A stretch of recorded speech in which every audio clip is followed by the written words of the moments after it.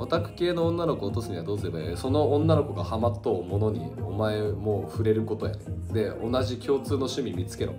お前俺がそうやけんわかるけどオタクは共通の趣味持った人間にことごとく弱いぞ。俺例えばキャバクラとか行って女の子がうちエペックスやってるんですとかバロラントやってますとかゲーム配信好きで配信者見てますって言ったらえー、本当？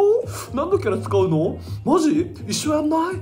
どのキャラ使うの？えー、武器は好きな武器教えて。えー、どの配信者見んの？えー、マジでめっちゃいいや仲間ってなるよ。やけん同じ趣味を普通に勉強しろ。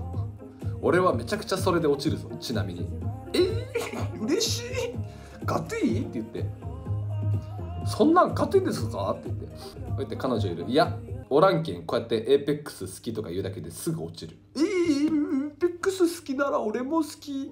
あ共通の趣味マジで最強。ちなみに俺結構ダーツ好きでプライベートでダーツとかよく投げに行くっちゃけどダーツバーで働いとう。子マジで8.5割増しぐらいに可愛く見えとうよ。ダーツバーの店員の女の子とか全員可愛いね。マジで。あれなんなんやろうねほんとバロ勉強します。うん好きになっちゃう。そうやけんなんかそういうのマジあるぞ